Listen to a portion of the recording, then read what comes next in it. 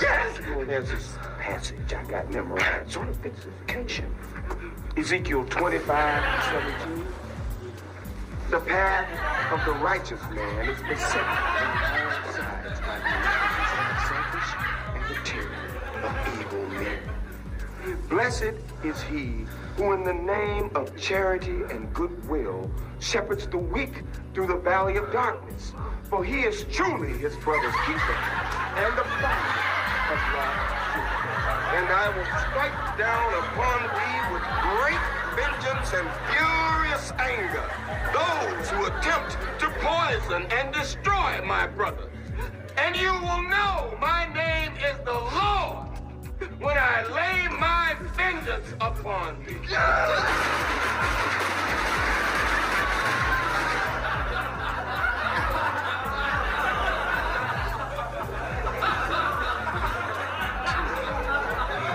Nah, you mother.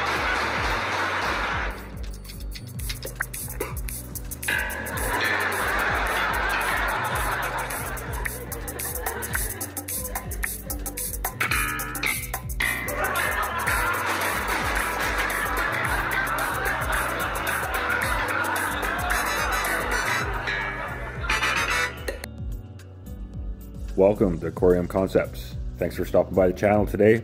Hopefully, I can earn a like and a subscribe. Uh, I appreciate all the support you guys have been giving me. Um, I got a wild, wild week, and it's been a wild week. And uh, man, I got a lot of content to get out this weekend. Such a busy weekend. I'm I'm so excited about this weekend. I almost put like like the cool YouTubers do that stupid face of theirs on the on the thumbnail of this video but uh, I'm not quite popular enough to look that stupid yet, I don't think. So I'll, uh, I'll save that for later maybe.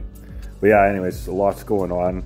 I'm going to do a quick video here right now just to get a couple loose ends tied up. Um, and there's going to be some long videos coming out this weekend. Got a core council Twitter space I'll tell you about. Yeah, lots to get to, so let's get into it here. Market today, Coreum's uh, trading at 44.84 cents. Sologenic 16 cents. XRP is coming in at 38.186 cents. And Bitcoin's at $21,702. Total crypto market cap's just under that 1 trillion mark again. It's uh, going to be bouncing around there for a little bit, I think, if not uh, maybe even going down a little bit more. That's just my opinion, but um, gold coming in at 1865. It's been pretty much sideways. Silver 2196 and the DXY 103.630. And we're watching that in the days ahead. Checking in on the Coreum audit, sitting at 44% today. So after this week, uh, we're just under halfway there. So with uh, what we got, just over a month and a bit left, uh, it seems like the timeline's looking good. Uh, some exciting news here. Core Council is getting uh, Twitter Space together uh, Saturday, February 11th, 6 p.m. Eastern Time. So that's exciting. They're always uh, full full of information. You never know who's going to pop in and and contribute. Uh, Bob Ras has been on, Reza has been on, Fabio. So um, yeah, it's it's definitely a, a must listen to. I'll, I'll be uh, there for sure. I'm gonna definitely cover it and I'll, I'll, do a recap video on it but I highly recommend listening to it and if you have any questions reach out to uh, core council and uh, or be present in that space tomorrow and, and get your questions answered. Uh, but yeah it's, uh, it's dive into coreum economics. So it should be an interesting one. Looking quite forward to it. Otto Nino. He's been putting out some good uh, content on Twitter since he came aboard on the Sologenic uh, Securities Marketing team. Uh, today he makes quotes a tweet and makes comments. Still is a real good bet. The best is yet to come. And he's referencing this uh, Cointelegraph article. Says the collision between traditional finance and crypto worlds has only just begun. So yeah, Otto's uh, I think going to be a really good addition to the Sologenic uh. I did a, a, brief look into his um, his career leading up to, to now on a previous video, so you should look for that. Uh, yeah, he's uh, got a lot to contribute to to Sologenic and, and I think in in concert uh, Coreum too. Okay, now it's time to dive into the weeds again here a bit. So back onto this uh, core issue. I just did a video on this yesterday, and uh, I had this post to go along with it. Very deceptive marketing taking advantage of Coreum investors. This is an ad for CoreDAO, not affiliated at all, but tell me where those words are. It's getting worse every day. And I tagged Bob, Reza, Coreum Official.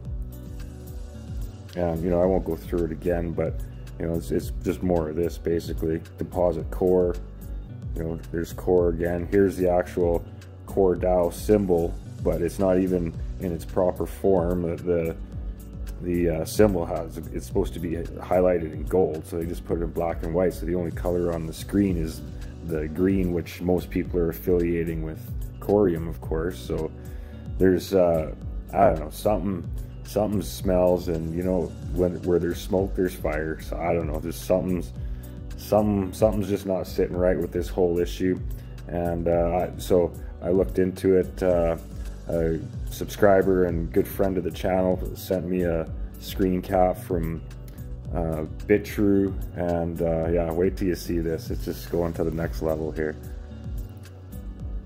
So yeah question gave me uh, some answers here too. So um, I looked into it a little bit further after he sent me the screenshot there.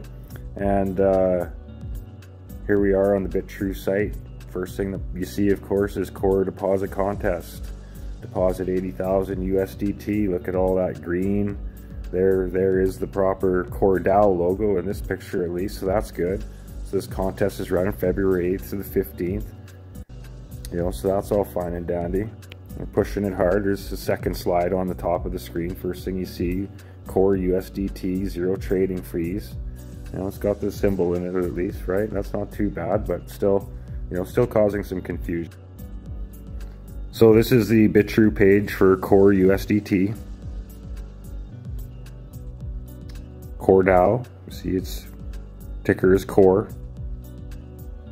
Not too much info on it here, no market cap, no circulating plan, nothing like that. But oh wait, their website, www.coreum.com. Well, that's interesting. I hit the link and it does in fact uh, take you to Coreum.com. Introduction Coreum is a third generation layer 1 blockchain with smart contracts built to serve as a core. Wasn't that interesting? So uh, somebody hits that buy button, they're thinking they're buying Coreum. Why wouldn't they? Look at that, right? Look at that. You know, and, and many people think that, uh, you know, hey, I can stake my core right on. Does it does it qualify for the snapshot? Is CoreDAO a governing token for the Coreum network? Like, it's just causing you know unnecessary confusion. I'm surprised that Bitrue would be contributing to this confusion. I thought they were a friend of the XRP Ledger community, and and uh, yeah, so I was quite surprised. So I dove a little deeper into the uh, Bitrue site and and their announcements, and here Coreum ticker core listing on Bitrue. March 3rd, 2022. Bitrue, welcome to Core. Coreum is a third generation layer 1 blockchain built to serve as a core infrastructure of the future. Okay, so that's good. Almost a full year ago. And what do we have here? January 28th, 2023. CoreDAO name update. Bitrue will update all mentions of Core DAO, Core DAO, on Bitrue to the name of Core DAO, ticker Core. We have closed the deposit. So on the same day, they announced that mentions of Coreum Core on Bitrue to the name of Coreum Coreum, we will suspend all core related activities. And you know, I clicked on them both. It just tells you when it comes into effect. But so they've been trading Coreum for a year on Bitrue, and along comes this CoreDAO a couple weeks ago, and just yeah, no, let's uh, let's just change it all. Uh, it's just something's not sitting right. I don't know. Like, it, I, call me crazy. I'd like to know your comments and under the, the video, like what you think about it. Like, am I just look at barking up the wrong tree here, but I mean, to me, something just stinks. There's some kind of shenanigans going on here, it seems to me. So yeah, I'd love to know your opinion. So leave leave a comment below the video. So I've been a Bitrue uh, member for quite a few years. Did quite a bit of trading on it some time ago. Um, so I figured, well, I'll reach out and tell them my concerns and see what they say. So this evening, I sent a email and it just says the switching of the ticker core to Coreum to accommodate CoreDAO's bizarre campaign to muddy the waters for investors. It is even more bizarre that Bitrue, who I assumed was close to the XRPL community, seemed to be going along with this strange agenda. I'd love to hear any comment on the reasoning for this if possible. Who requested this change? Do you think Bitrue has alerted investors adequately, as CoreDAO certainly doesn't mind capturing Coreum investors by using deceptive practices? Links and content should be updated long before now. Please see attached. I look forward to hearing from you. So I, I sent uh, the, screen caps that I just previously shown here, and they surprisingly uh, responded fairly quickly. Unfortunately, it wasn't, you know, addressing most of what I said. So this is their reply. Dear user, sorry for the inconvenience. Please be informed that the coins that we list on Bitrue, CoreDAO, are largely decided by the voice of our community. If enough people ask for it, then we consider adding it, so we'll keep your request in mind for the future. I wasn't questioning them adding CoreDAO and questioning the name change, but that's fine. Please note though, we have many users asking for many different coins, so it's impossible for us to say when or if we'll be able to add your particular request missed the point completely on that one. I'm not too sure what where they got that from. Regarding the links and content that should be updated, we will put your voice to one of our considerations for the next improvement and try our best to improve our services in helping the problems that our customers face when using our system. To that end, we would appreciate your input on this matter. Best regards. Well, I gave them my input I asked them a bunch of questions. They didn't answer any of them, and they obviously didn't hear any of my input. So I'm pretty disappointed in Bitrue. I gave them a chance to give me some kind of answer, and um, obviously it's somewhat of a form letter, I'm sure, just an auto response. Came pretty quick, but um, you know, I don't know. I'm, I'm pretty concerned. Like it, it, seems like something fairly deceptive is happening here, um, and you know, I don't think Bitrue's helping the situation by by what they're what they're doing here today on their screen. So uh, I think the least they could do is alert the users a little bit better than they are, like maybe right underneath these ads for buying core and, and you know taking them to a page that says buy core DAO and you and then it's got a link to coreum.com. It's two totally different technologies. You know, like core DAO is a proof of work system, so you know it's a it's a bitcoin based technologies. Like you know to be comparing it with coreum is just it's just hideous. It's, it's bizarre. So I, am surprised that uh, the marketing team at uh, coreum isn't saying much. Well i mean maybe they are in the background i guess but uh, you know I, I would you know the thing i say like from for me this point forward i can't keep going around saying core so you know, I'm not telling anybody what to do, but from this point forward, you'll never see me use the core symbol. I'm, I'm going to use Coreum because, uh, you know, by us using core, it's, it's, almost like we're promoting this project. And from what I see, you know, I wouldn't touch this project with a 10 foot pole. There's obviously some kind of bot campaign or, you know, the way they, you know, went to a million and a half followers from from nothing on Twitter. You know, didn't hear from them. All of a sudden, they got a million and a half followers. It's just everything stinks about this thing that happened. So, I mean, it's one thing that it's deceiving core core investors buying the wrong product, but it's sending you know potentially um, good core investor, Coreum investors to buy a potential scam token, or definitely at the at minimum uh, to a token whose uh, uh, founders or marketers uh, don't have many morals from what I could see. So it's pretty concerning to me. I, am just surprised that the, um, the Coreum team's not more vocal about it with, uh, especially with a, an exchange like Bitrue. Well, that's about it for today. I just wanted to get a few of those important issues out uh, before the weekend here. As I said, tomorrow's got Core Council having a Twitter space. It's going to be a must must here. Keep an ear out for an eye out for a video follow up after that. If you just want a recap, I'll definitely have a recap of the core council up later in the day.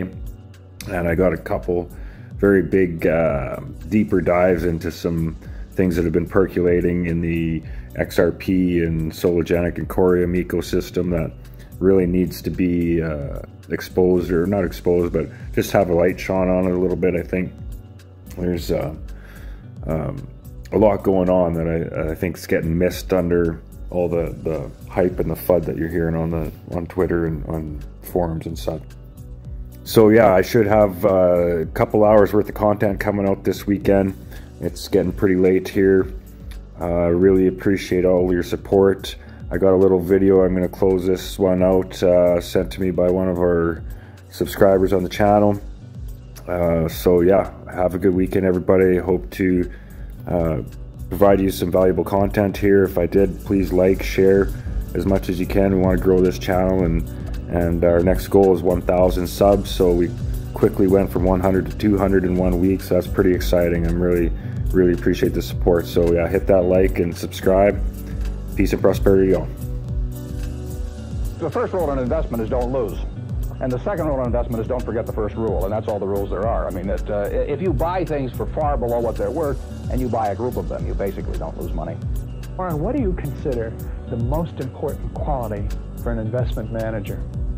It's a temperamental quality, not an intellectual quality. You, you, don't need tons of IQ in this business. I mean, you have to have enough IQ to get from here to downtown Omaha, but uh, but uh, you do not have to be able to play three-dimensional chess or, or, be in the top leagues in terms of bridge playing or something of the sort. Uh, you need a stable personality. You need a temperament that neither derives great pleasure from being with the crowd or against the crowd. Because this is not a business where you take polls, it's a business where you think. And Ben Graham would say that you're not right or wrong because a thousand people agree with you. And you're not right or wrong because a thousand people disagree with you. You're right because your facts and your reasoning are right. Warren, what do you do that's different than 90% of the money managers who are in the market? Certainly most of the professional investors focus on what the stock is likely to do in the next year or two, and they have all kinds of, all kinds of uh, uh, arcane uh, uh methods of, of, of, approaching that, but uh, uh, they do not really think of themselves as owning a piece of a business. The, the real test of whether you're investing from a value standpoint or not is whether you care whether the stock market is open tomorrow. Uh, if you're making a good investment in a security, it shouldn't bother you if they close down the stock market for five years. All the ticker tells me is the price. And I can look at the price occasionally to see whether the price is outlandishly cheap or outlandishly high. But, but prices don't tell me anything about a business. Business, uh, business figures themselves tell me something about a business, but the price of a stock doesn't tell me anything about a business. I would rather value a stock or a business first and not even know the price so that I'm not influenced by the price in establishing my valuation and then look at the price later to see whether it's way out of line with what my value is. So Buffett chose to stay in this world, Omaha, Nebraska, where corn grows just minutes from downtown. Now, Omaha is a nice town, but nobody claims it's a world financial center. Here, the only thundering herd is actually on four feet. Don't you find Omaha a little bit off the beaten track for the investment world? Well, believe it or not, uh, we get mail here and uh, we get periodicals and we get all the facts needed to make decisions. And unlike Wall Street, you'll notice we don't have 50 people coming up and whispering in our ear that we should be doing this or that this afternoon. You appreciate the lack of stimulation I like, here? I, I like the lack of stimulation. We get facts, not stimulation here. How can you stay away from Wall Street? Well, if I were on Wall Street, I'd probably be a, a lot poorer. At, uh, uh, you get overstimulated in Wall Street, and uh, uh, you hear lots of things, and and you, you, may you may shorten your focus, and a short focus uh, is not conducive to uh, to long profits.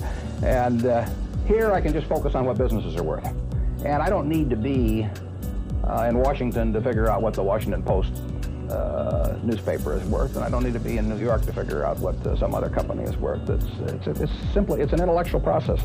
And, and, the less the less static there is in that intellectual process, really, the better off you are.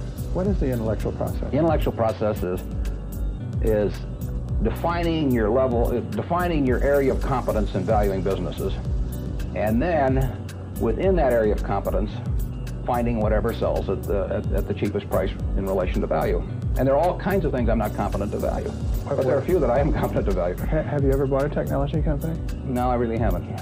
In 30 years of investing, not one? I haven't understood any of them. so you haven't ever owned, for example, IBM? Never owned IBM. great- Marvelous great- company. I mean, it's a sensational company, but I haven't owned IBM. And so here is this uh, technological revolution going on, and you're not going to be a participant. Gone right past me. Is that all right with you? It's okay with me. Arthur, I don't have to, I don't have to make money in every game. I mean, I don't know what cocoa beans are going to do. I don't, you know, I, there are all kinds of things I don't know about, and that may be too bad. But uh, you know, why should I know all about them? I haven't worked that hard on them. In securities business, you literally every day have thousands of the major American corporations offered to you uh, at a price and a price that changes daily. And you don't have to make any decisions. You have to make uh, nothing is forced upon you. So you there are no called strikes in the business. The pitcher just stands there and throws balls at you. And uh, if you're playing real baseball and it's between the knees and the shoulders, you either swing or you get a strike called on you. If you get too many called on you, you're out. In the securities business, you sit there and they throw uh, U.S. Steel at 25 and they throw General Motors at 68, and you don't have to swing at any of them. They may be wonderful pitches to swing at, but if you don't know enough, you don't have to swing. And you can sit there and watch thousands of pitches, and finally you get one right there where you want it, something that you understand, and then you swing. And uh, So you might not swing for six months. you might not swing for two years. Isn't that boring? It would it would bore most people, and, and certainly boredom is a is a, is a problem with most professional money managers. If they if they if they try sit, to sit out an inning or two, not only do they get somewhat antsy, but their clients are start yelling they start yelling "swing you bum" you know from the from the stands, and that's very tough for people to do. Warren, your your approach seems so simple.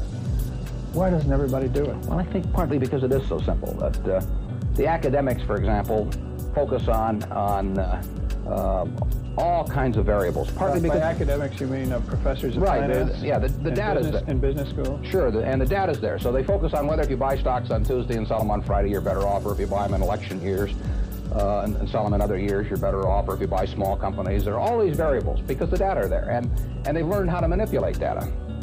And as a friend of mine says, uh, to a man with a hammer, everything looks like a nail. And once you have these skills, you just are, are, are dying to, uh, uh, to utilize them in some way, but they aren't important. Uh, if I were being asked to participate in a business opportunity, would it make any difference to me whether I bought it on a Tuesday or a Saturday or an election year or something? It's not what a businessman thinks about in buying businesses. So why think about it when buying stocks? Because stocks are just pieces of businesses.